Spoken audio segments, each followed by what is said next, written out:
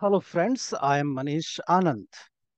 At the raisinahills.com, it is our endeavor to bring curated contents for you uh, that uh, adds to meaningful discourse and discussions in, uh, in the events which take place. In Tashkent, uh, uh, the Shanghai Cooperation Organization meeting was held uh, in which the Indian Foreign Minister S. Jaishankar participated. Today, we are going to discuss uh, the outcome of the Shanghai Cooperation Organization's uh, foreign ministerial meeting with our senior colleague, uh, veteran uh, uh, journalist uh, Ramananda Sengupta. Ram, welcome to the show. Hi. How are you doing? you hear me? Yeah, I can hear you. Great. Okay. And uh, uh, friends, uh, Ram is joining us from Chennai. Uh, uh, let me introduce you. He is a veteran strategic affairs journalist. He has been a foreign affairs editor with several publications. And on foreign relations, he is an authority in the Indian media. So uh, uh, one more thing I would like to add, Ram, in fact, that gives me a lot of uh, uh, pride that um, one of the research uh, article by Ram was uh, uh, on Arctic's uh, significance in the strategic sense uh, was followed by none other than The Economist, uh, one of the topmost world magazine. So Ram, what we have seen that um, uh, that the Shanghai Cooperation Organization meeting, the principal mandate of this grouping was to counter terrorism. So let me begin with uh, uh, on this topic because uh, Bilawal Bhutto was also present in the meeting. And uh, there was no, of course, there was no bilateral between Jaishankar and Bilawal Bhutto. Still, how does uh, the SCO fare on this principal mandate on countering terrorism? Um, you see, terrorism now, the interesting part here is that Bilawal, of course, he wasn't supposed to meet Jaishankar, but I think he never met uh, uh, Lavrov either. He was supposed to meet the Russian foreign minister as a, as a host. But I think everybody, every other foreign minister met Lavrov except Bilawal. I mean, that is significant in some ways, though they're trying to say that, you know, scheduling difficulties or something like that. But there was a, you know, uh, gap which I'm, I'm trying to understand why Bilawal was not given some time. Normally, this is just a courtesy call. But uh, I'm surprised that Bilawal never got the chance to meet uh, Lavrov. Now, you know, if I can just put it into context, if we're just talking about terrorism, we, Jaishankar, as you know, went and said that, you know, terrorism and all its form must be stopped. Um, Bilawal in his speech kept saying that, you know, Islamophobia is what is preventing India from sort of, you know, that India is scared that if it goes on, it goes into a discussion with Pakistan, that we will have problems vis-a-vis the so-called, you know, uh, the problems we have with uh, Muslims in our country, which, I mean, a lot of people seem to be taking that up in a big way. Now, I personally think that um, it's very obvious where terrorism comes from in the world. I mean, there is nobody has to explain that. Of late, however, of late, I'm noticing that um, while India has been putting constant pressure on Pakistan, saying that you know this is the epicenter of terrorism, this is the epicenter of wherever what is going on, a lot of the thing has shifted to Afghanistan, and that is a bit you know uh, that gives Pakistan you know uh, what is called plausible deniability. That oh, it wasn't us, you know, that the terrorists came from Afghanistan. Now, here's the thing terrorism is just one part of what is going on there. At the meeting, China made this, uh, sorry, Pakistan made this remark about extending CPEC to Afghanistan. Now, that is obviously going to get the Indian Babus very upset because, you know, they've been saying CPEC itself is illegal. And India has a lot of interests in Afghanistan. So if you were to now put, uh, and a lot of those interests involve, you know, infrastructure roads and you know rail lines and things like that apart from buildings and stuff. So now you're going to have if if, if cpec actually does extend to afghanistan it's not going to be very difficult for the chinese to sort of you know uh, put the thing in because the chinese have been in touch with the taliban for a very long time. They have a lot more contact with the taliban than we do. You know we have recently said okay we'll talk but you know the chinese have been talking to the taliban for the past 20 odd years and they've already set in place a lot of, you know, they paid off a lot of people in order to start laying roads and things like that. So all they have to do is to just rename it and say that look, this road that we built, you know, five years ago, 10 years ago is already part of CPEC. Now, why would they want it? Because the only way to get things out of Central Asia is through Afghanistan. Central Asian, most of the Central Asian republics are landlocked. The only way they can come to a port is through the, you know, Afghanistan, then down to either Pakistan or Iran or wherever it is that they can. So for Pakistan, that would be a great win to be able to, you know, say that, okay, look, we are part, again, Afghanistan is a part of. So I don't know how India wants to tackle that because I don't think you can really force the Taliban to say, no, you can't you know, join the CPEC. But I found that a bit interesting because, you know, just two days ago, India made a big noise saying that, you know, CPEC is illegal. And then, you know, they wanted for foreign nations to join in for CPEC to sort of basically to uh, get money because Pakistan is having problems repaying China for CPEC.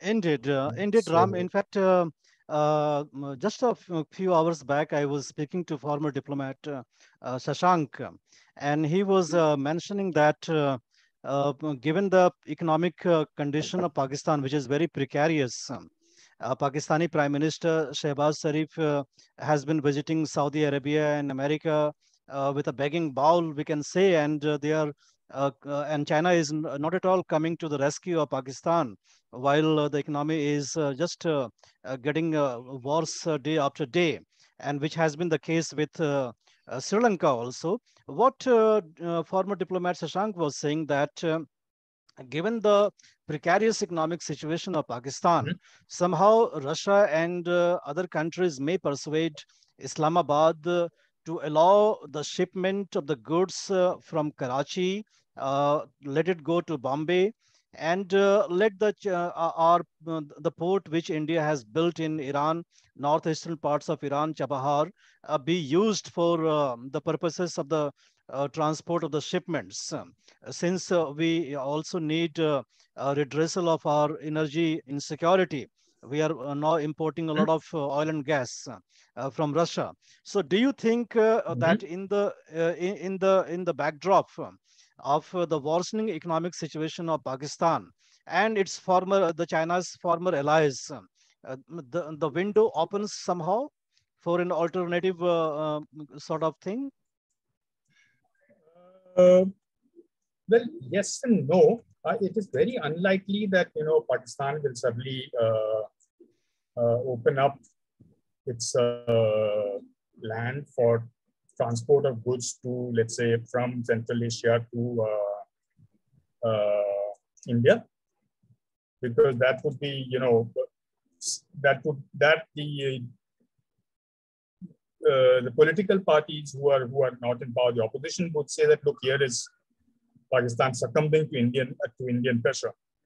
Every time something like that has happened, the military has stepped in, and you know they would see it as a thing. But here's the interesting thing: uh, we don't really need Pakistan anymore uh, for this, uh, you know, uh, transport of goods. Once this North-South international corridor comes into place, and this North-South international corridor, which is coming in from Russia all the way down to uh, through some of these Central Asian states into Iran, and then from there to India, is interesting in another way it also bypasses the Suez Canal. See, now the Suez Canal, as you know, can be sort of squeezed by the Western powers. Um, you can't squeeze Chabahar, you can't squeeze uh, Bandar Abbas. So it's a very, you know, already some goods have been shipped. And this is a very interesting corridor. They've just opened it up. I think some 40 tons or something of some goods came in already.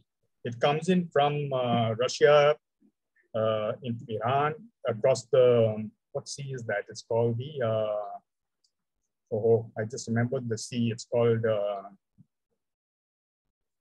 one second. Um, it's, it's, it's that closed sea which, which, which doesn't, uh, okay. You know, uh, doesn't why matter. Am I, why am I forgetting? It'll come to me. so, um, So now that is that, you know, the problem with that is that the moment that comes into play, the moment that comes into play, the Americans and the West are going to have a major problem because A, Russia is involved, Iran is involved, both are enemies of the West right now, of the US rather than the West. Okay. B, what is happening is that because you're bypassing the Mediterranean, because you're bypassing the Suez Canal and everything and making this route, some Europeans have also evinced interest, saying that, hey, you know, we could use the same route to ship goods right down to the Indian Ocean and, you know, into the Arabian Sea and ship it. It would be a lot cheaper than us having to go all the way, you know, either down from the African side or even through the Suez into the Mediterranean. It's a lot, it's about 15 days less, which is a lot of money saved and time saved. And that has got the Americans a bit rattled. So they are not going to sit there and you know just let this happen. They're already trying to sort of you know threaten and cajole people, saying that no, he won't let you ship it. But this is all through Russian territory and Iranian territory. What can you do? The Americans can't do much other than you know getting. That's one part of it. So once that really gets into play, I don't think we'll really need Pakistan to sort of you know use it for shipping. See, even if Pakistan were to allow us to ship things through their territory, we would be in many ways, you know, we've been thinking about a pipeline, for instance, from Central Asia through Pakistan into India. But every time the question comes up, we say, oh, you know, some terrorists will come and sit on it. And, you know, after all, pipeline is a pipeline, you depend on it. Now, if some terrorist comes and says, I'm going to block it, blow it up, what will you do? It's going to impact you because you're further downstream. So Indeed. here, this is yeah so this is going to really you know uh, uh, be another sort of a game changer in many ways indeed yeah. indeed ram it's, but it's uh, Indeed, I got it. Uh, Ram, I would like to draw your attention to one more uh, development. Um, in fact, in some of the foreign journals, uh, there are suggestions that China is using the SCO forum to develop it as a counter to G20. The, anyways, SCO expansion is on the cards. Saudi Arabia, Egypt, and, and Qatar are being invited. Uh, now we are also in the in in the in an era where Cold War is reviving. The Western Bloc is separate yes. and the Russian Bloc is separate. So we are in a different, uh, in different, uh, completely in a different ecosystem. So in that scenario, uh, India will be taking over the presidency of SCO next year, and India is taking over the presidency of G20 later this year. So yes. India, India has to do a balancing act in between the Western allies and uh, uh, the, the Eastern European countries.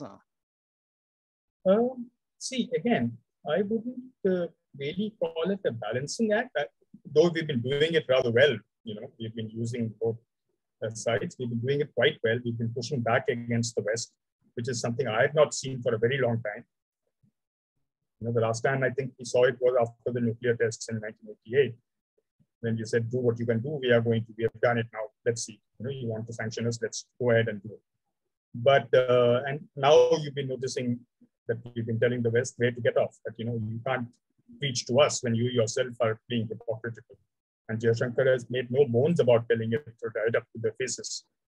But, you know, the interesting part here is post this Ukraine issue, I think the entire world has realized that the main reason why the Americans can sort of intimidate the rest of the world is because of the dependency on the dollar.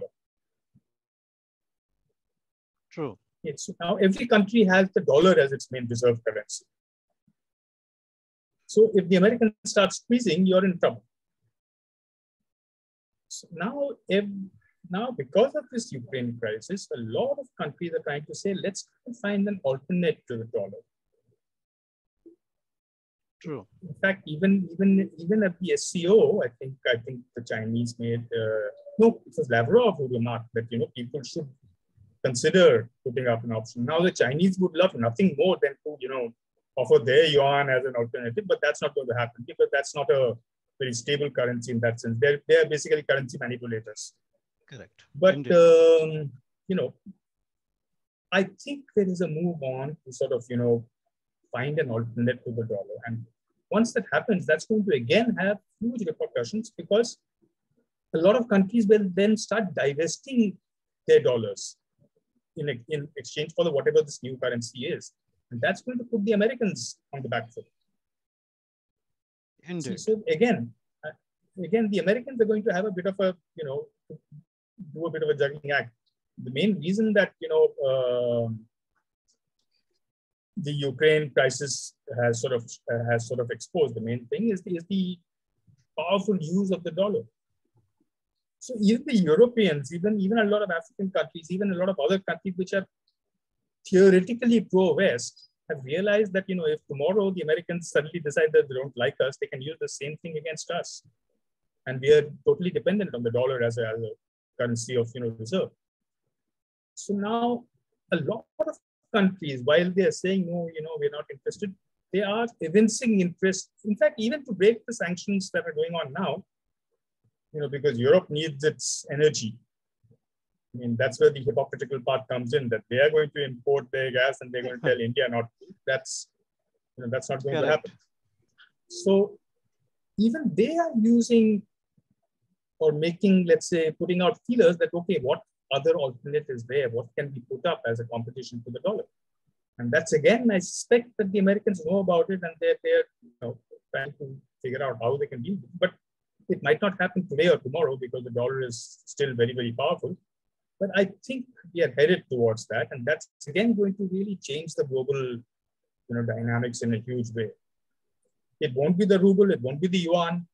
In fact, the reason why we sort of you know made the rupee recently, if you remember, we, we were allowed it to be globally traded.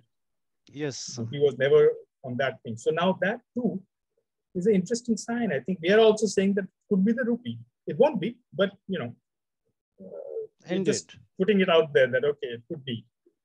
So I think we're looking at very interesting times coming up, you know, because uh, slowly but surely it may not happen immediately. Slowly but surely the Americans are being sort of challenged, and it's about time because you know. Mm, uh, I recently I did an interview. It's called what what was it called? Some virtue signaling. The phrase is okay. called virtue signaling, where you say that whatever I'm doing, I'm a good person. So whatever I'm doing, it's for the global good. So hence you can't blame me.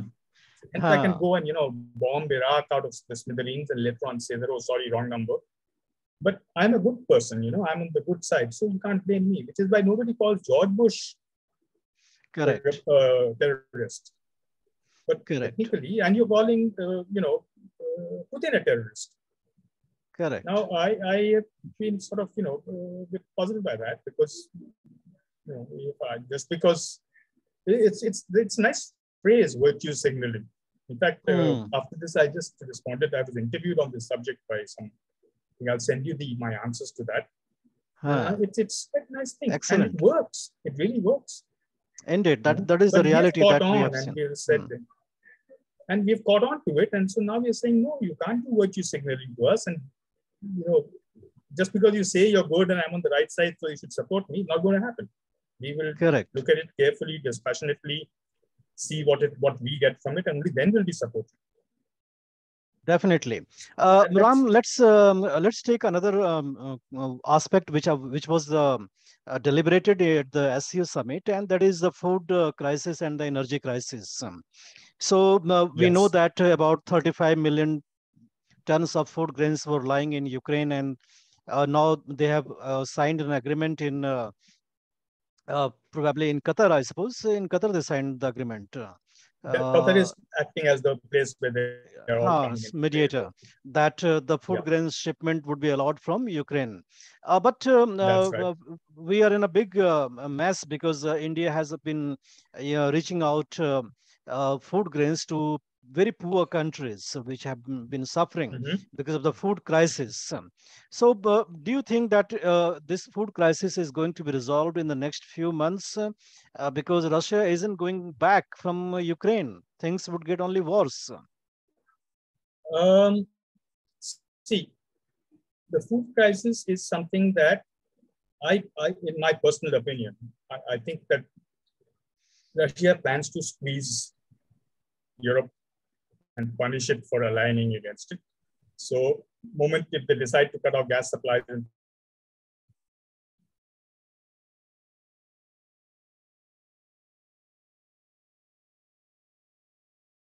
Uh, your video has frozen, Ram. Uh, Uh, I think we have some uh, connection issue with Ram, and uh, we hope to get back him soon. Uh, uh, friends, uh, let me throw a little more light on the SCO summit. that um, Jaishankar briefed the SCO members about India's humanitarian aids in Afghanistan.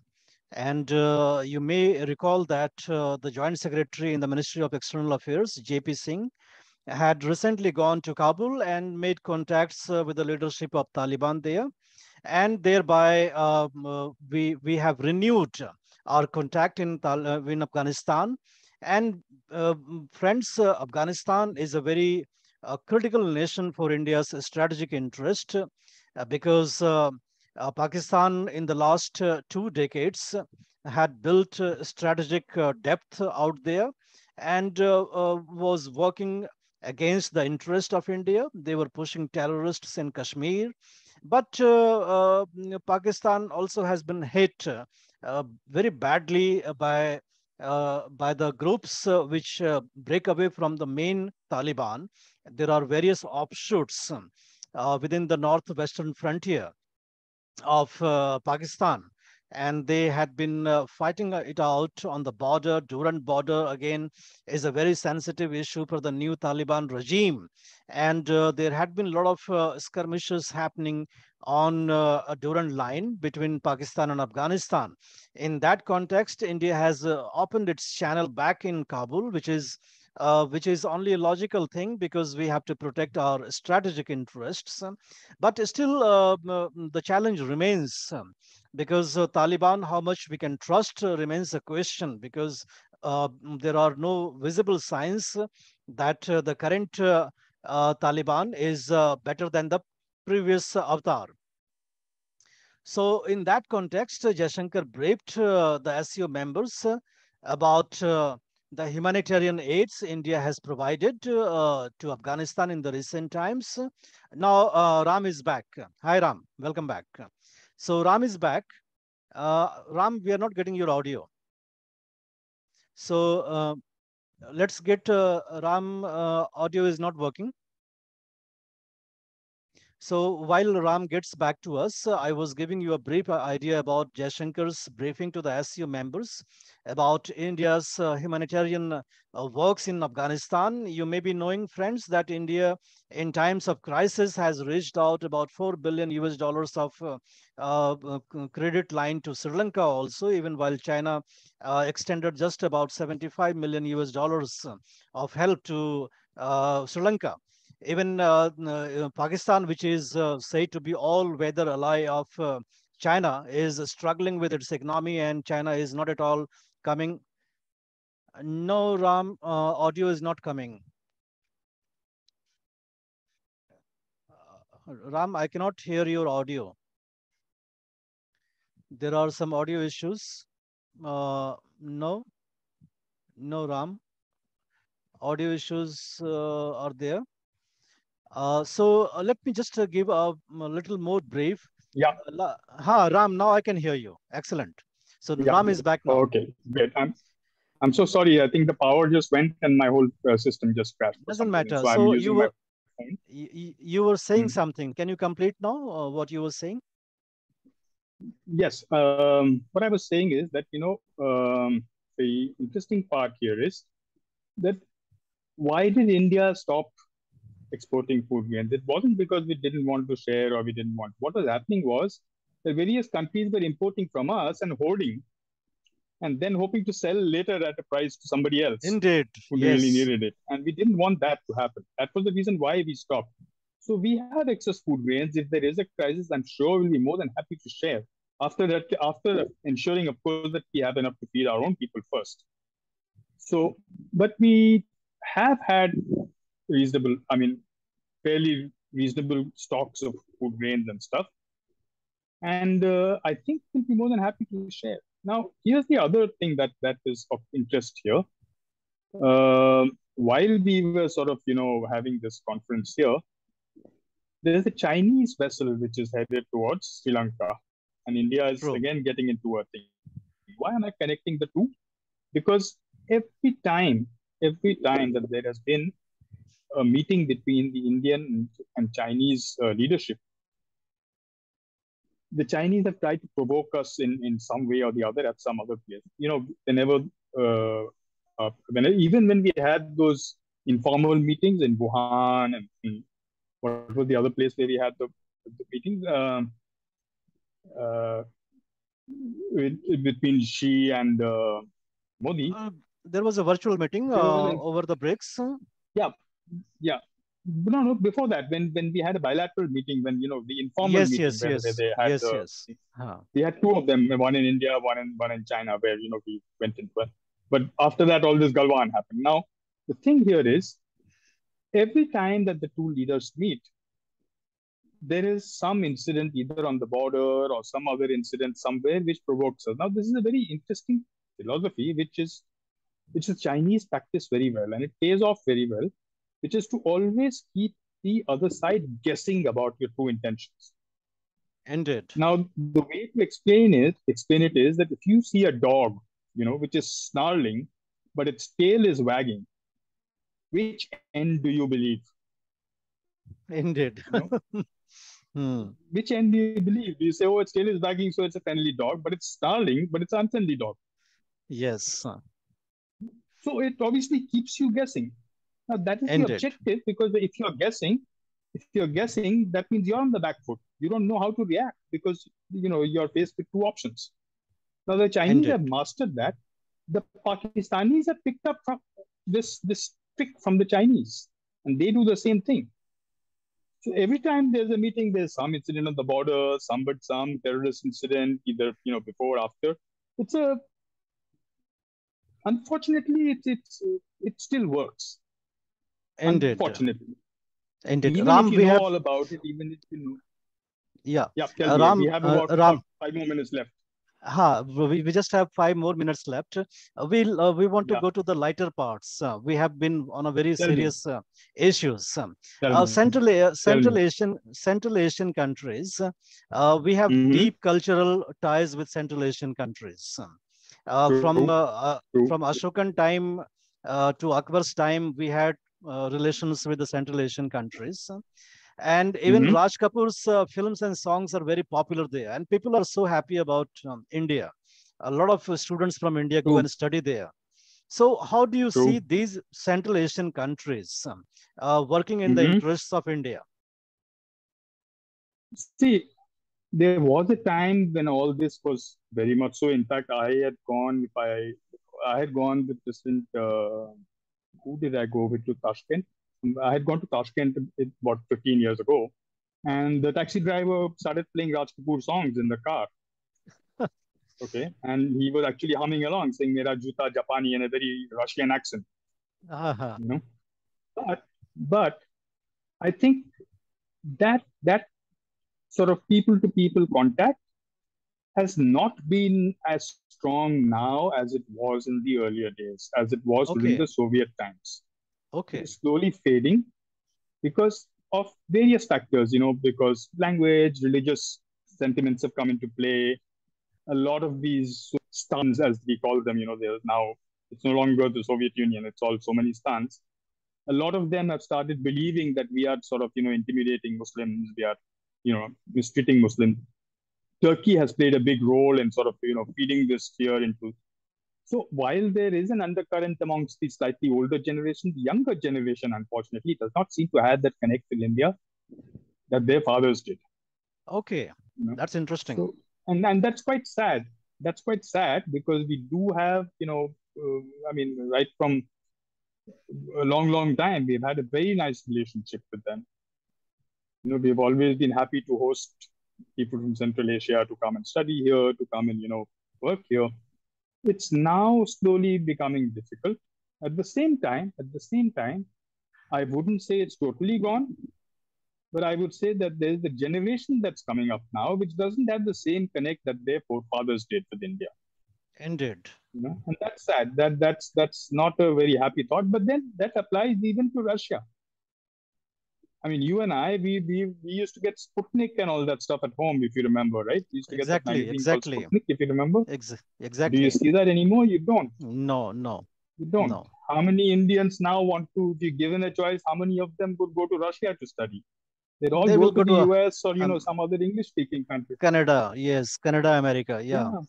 Hmm. yeah So so True. that that relationship is slowly, you know, that people to people thing, it can be revived. In fact, both sides are keen to revive it. But it's not happening as uh, the way it, way it should, you know. It, it's it's there is an element that okay, yes, a lot of people think that we should still trust Russia, which is true because it has stood by us when we were in times of trouble, starting from the 71 war to you know other times. Uh, they are the only country that has given us nuclear submarines to actual nuclear submarines on which to practice and train our, our navy. No other country Exactly. has done that despite all the big talk about sharing. So, you know, the taste of the pudding, as they say, is in the eating that, you know. Um, so, Russia is a good friend, and we shouldn't just disown Russia just because the Americans are putting pressure on us or somebody else is saying that we'll give you something. It's a time tested friendship. But at the same time, the friendship has, which used to be based on a people to people, on a, on a you know thing, that that is slowly eroding, and I'm I'm sad to say that that that but that that's the truth. That's the truth. Exactly. Now here's the other thing. A lot of people are saying, "Oh, Russia is aligning with China, and hence you know how can our friend align with China?" But here's the thing. Every time we have met diplomatically, both India and Moscow, I mean New Delhi and Moscow, have repeatedly reinforced that it is not a uh, either or relationship. Ended. That you know, if I'm friends with China, that doesn't mean that I'm not friends with India. Or if I'm friends with the Americans, doesn't mean that I'm not friends with Russia. It is not a one-off kind of a thing. It's not a trade-off. You know, the Americans have that very transactional statement that either if you're with us, that means you can't be friends with that person because that guy's our enemy. But I think both Moscow and New Delhi understand very clearly that you know you can be friends. In fact, it helps if you're a friend of. I mean, you might not like somebody, I might like that person, but does that Indeed. mean you and I can't be friends? Of course. And you know, both sides have been reinforcing that. And I would also argue that right now Russia needs China in some way, but the relationship is not the relationship that they have with India. Exactly. You know, it's it's again the Chinese believe in a relationship where they are superior, where they have an economic hold over you, and that's what they have with Russia and even now. And the Russians are not very co- comfortable with that. I mean, even now, you know, uh, the Russians are asking for investments, saying that you know India wants to invest in Russia, we want you to, and they have a lot of these oil things happening in their Far East, which is in the you know Arctic Circle side. They're not letting the Chinese come in. They're saying no, we, we want to give it to India. Okay. Interesting. You know, Interesting. so I think both sides have made it very clear that just because I am friends with your enemy doesn't mean I can't be friends with you. Indeed, these are the aspects which are which are not uh, um, enough in the public domain in the country, in India particularly. Uh, of late, I see that uh, uh, the media coverage and the media analysis in India is mostly leaning to the Western countries' narrative, uh, that is uh, bashing Russia. Uh, but Ram, uh, there is one more challenge. 80% of our defense goods are sourced from Russia. And given the kind of uh, Mhm. relationship that China and Russia are having, and given the expertise of Mhm. China in backward engineering of defense goods and engineering products, don't you think in the event of uh, Indo-China war in future, if that possibility ever materializes, uh, we will be at a disadvantage uh, uh, for leaning only on Russia? Mm, well, yes and no. You see, um, let's face it, both both India and China are nuclear powers. So is Russia. Indeed. Number one. Number two.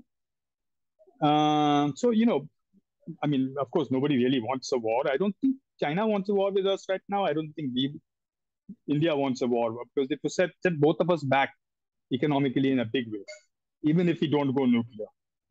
okay, if there is a war. But but why don't we look at it in a different way? Why don't we look at it that Russia could actually step in and act as a mediator in case there is a war? Because he, Russia is friendly with China too, and Russia is friendly with India too. Indeed. Why should we always assume that Russia will, you know, align with uh, China if push comes to shove? Why, why should we not assume that it will align with us? I mean, the fact that Russia is saying that, you know, we want to give our oil and other gas reserves the first option to India is a sign that, that you know, you see, I, I'm being politically incorrect here, but the Russians are a bit racist in some ways. Okay. Okay, with India, they have a long cultural relationship, so that we are sort of, you know, almost uh, excluded. But um, they don't like being dictated to by China, which is what China is trying to do. Indeed. And they don't like the fact that, you know, economically they're indebted to China. They don't like the fact, but right now they don't say, they don't have an option. Who else can they align with? The Americans and the West are all totally aligned against them. The other part of it is that Russia and China share a, what I think almost four and a half thousand kilometer border. Yes. Now, if you have a border like that, it allows you to trade very easily, no matter what sanctions, whatever there is. You just have to True. cross, you know, send things across the border. Who can stop you without sort of, you know, encroaching into your territory? So, in many ways, right now, Russia needs China, but that doesn't necessarily mean that Russia likes China. Indeed, interesting perspective. Definitely. So in that ways, uh, uh, India will be a key pivot uh, in the coming years. And given uh, the G20 presidency uh, that India will be taking up uh, later this year, where Russia is also a member, along with the Americans and the Western countries. Um, still, right. still in the post-pandemic and the post-Ukrainian world order, many things are mm -hmm. happening which are which are shocks. Just now we saw that in tunisia an authoritarian ruler is coming uh, taking the whole power there.